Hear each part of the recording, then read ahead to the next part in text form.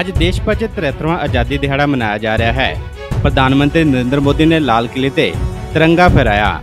ਮਰਹੂਮ ਪ੍ਰਧਾਨ ਮੰਤਰੀ ਅਟਲ ਬਿਹਾਰੀ ਵਾਜਪਾਈ ਤੋਂ ਬਾਅਦ ਮੋਦੀ ਹੀ ਛੇਵੀਂ ਵਾਰ ਲਾਲ ਕਿਲੇ ਤੇ ਤਿਰੰਗਾ ਫਹਿਰਾਉਣ ਵਾਲੇ ਪੀਐਮ ਬਣੇ ਹਨ। ਇਸ ਮੌਕੇ ਉਹਨਾਂ ਨੇ ਦੇਸ਼ ਵਾਸੀਆਂ ਨੂੰ ਰੱਖੜੀ ਦੇ ਦਿਨ ਦੀ ਵੀ ਵਧਾਈ ਦਿੱਤੀ ਹੈ। ਮੋਦੀ ਨੇ ਲਾਲ ਕਿਲੇ ਤੋਂ 92 ਮਿੰਟ ਦਾ ਭਾਸ਼ਣ ਵੀ ਦਿੱਤਾ। ਇਸ ਮੌਕੇ ਵੀ ਉਹਨਾਂ ਨੇ ਕਸ਼ਮੀਰ ਮੁੱਦੇ ਤੇ ਹੀ ਜ਼ੋਰ ਦਿੱਤਾ ਹੈ।